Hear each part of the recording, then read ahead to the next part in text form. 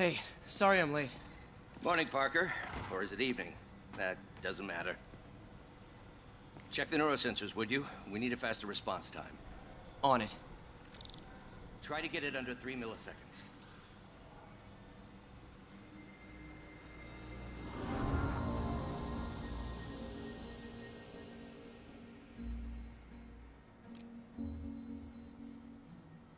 Okay, looks like I could optimize this power relay.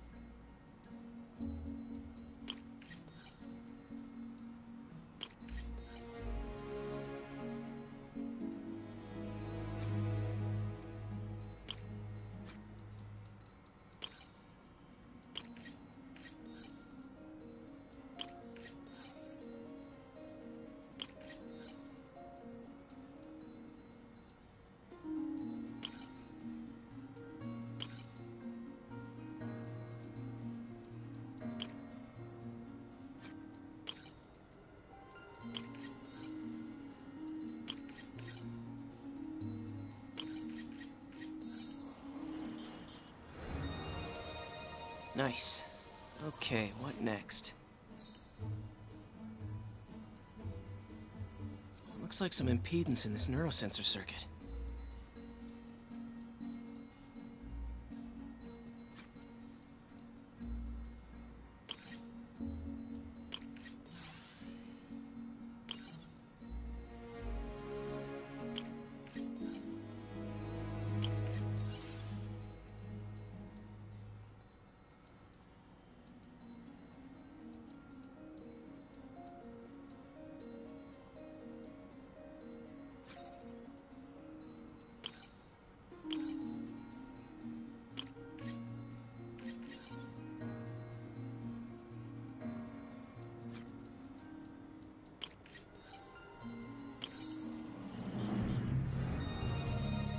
Finished.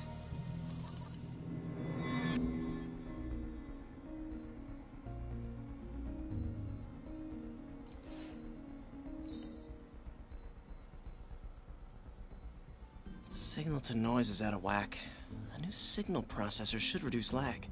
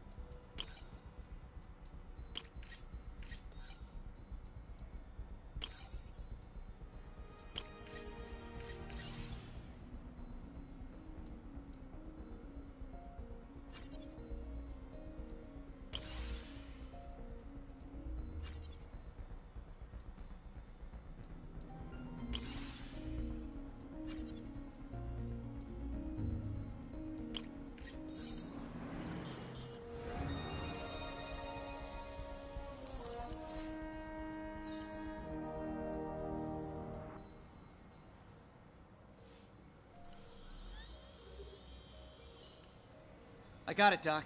2.8 milliseconds. Good work, Peter.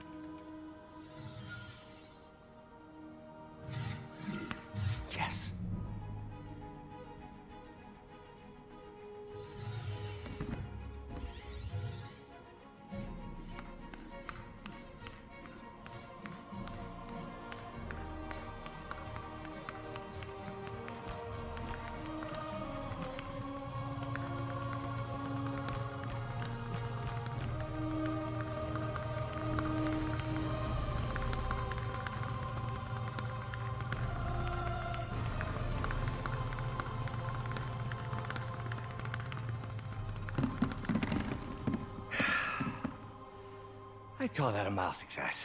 I call that unbelievable.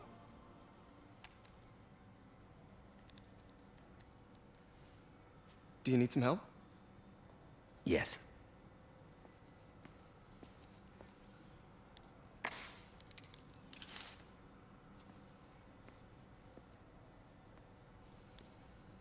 Doctor, what's going on? It's become that obvious. My doctors call it a degenerative neurological disorder. Probably caused by overexposure to toxic chemicals in my reckless youth. Sorry, is, is, is there anything I can do?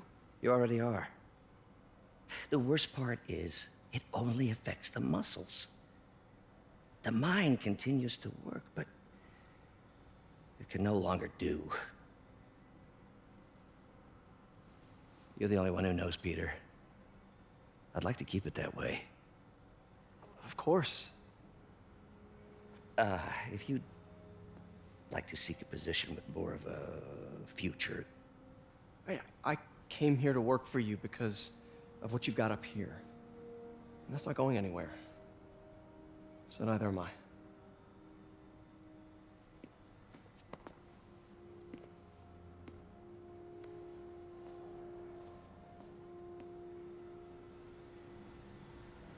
Oh, Peter, before I forget, I read the most fascinating article.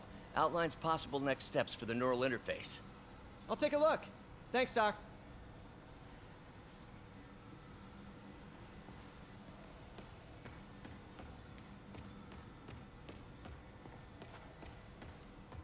Direct interface with the basal ganglia.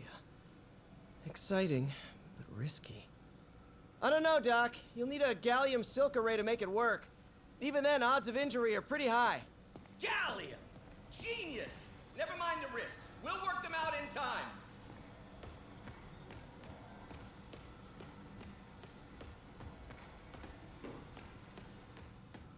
Doc's really sick.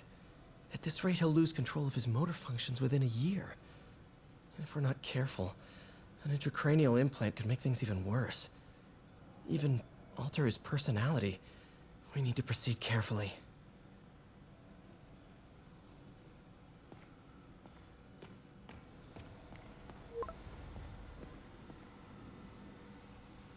Um, Doc, I'm sorry. My aunt just texted. No worries, Peter. I was thinking of taking a break myself. As soon as I check our telemetry.